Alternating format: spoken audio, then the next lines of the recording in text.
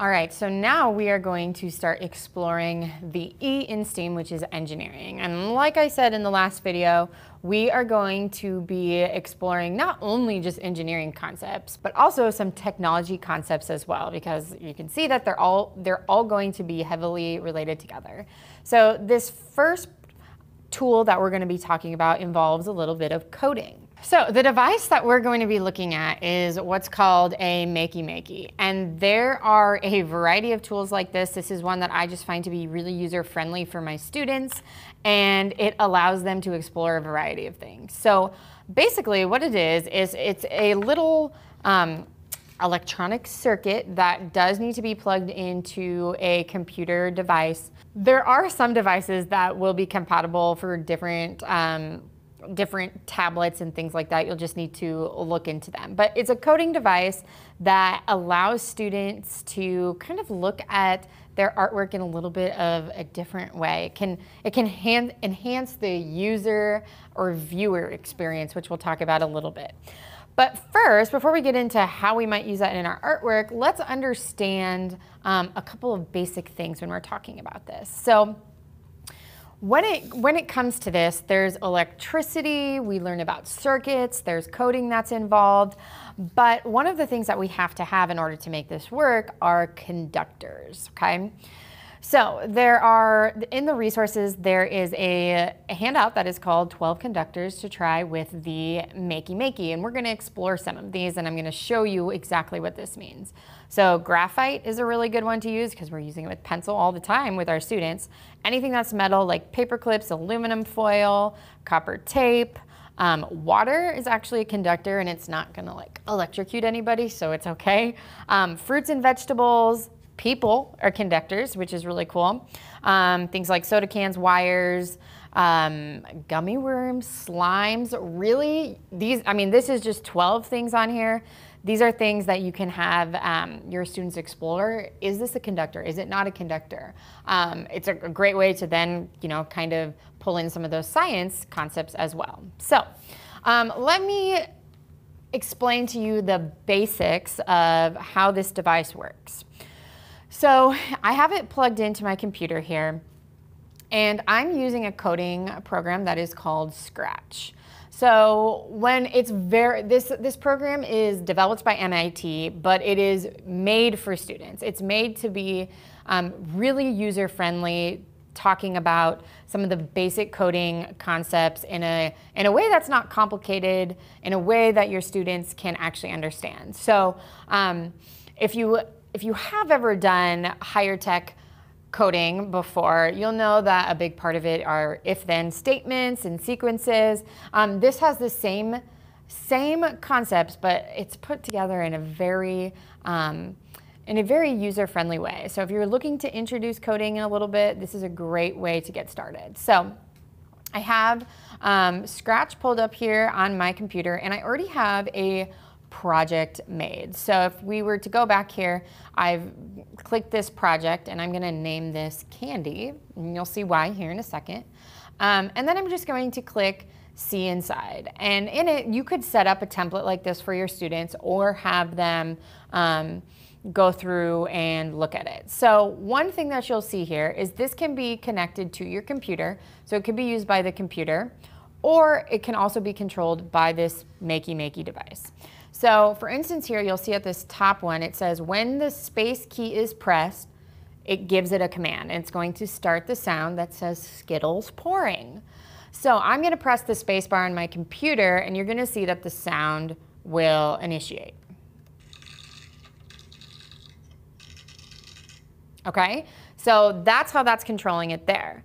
So now if I, on this um, Makey Makey device, you will see that there is a component that says space. So that is the space bar, if you will. So I'm gonna take one of these um, clamps and I'm gonna put this here.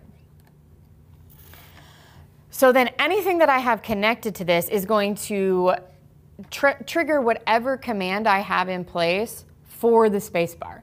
Now, looking at here, you could change these to anything. Up arrow, down arrow, right arrow, any letter on the keyboard. You can do a variety of things with that. So um, these can get really these can get really advanced and intricate um, for your students. So there's so so right now I'm just showing you the, the bare bones, the basics. Um, but your students could really look into this and explore this, okay? So before I um, direct this to our drawings, I just want to show you how these conductors work. So on here, what's going to happen is I'm going to clamp this to the conductor, which in this case is the graphite. So I'm going to clamp this here.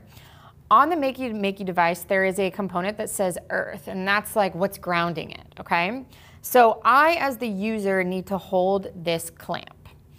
So then when I just touch so I'm not touching anything else other than this graphite. I'm holding this here. You'll see that it triggered that sound to play on the computer because that's how I coded it to do. And that's what the conductor is, okay? So when I said that you could do, like humans could be a conductor, let's say I was holding this, but I had a class of seven who were all connecting their hands or something like that. I could have a student student one might be holding this, but student seven, if they're all of their hands were connected, he could come in and touch this and it's gonna trigger that sound to go, okay? So let's take a look at some other things. So things like electric paint can be a conductor. So same thing here. I clamp here, I hold the earth, um, clamp here, and then I'm just gonna press it with my finger. It's going to prompt and create that sound. Doesn't matter where, and it does need to be hooked up to the computer for that just so that you can hear the sounds and do that. So other things, so we have copper tape, same thing.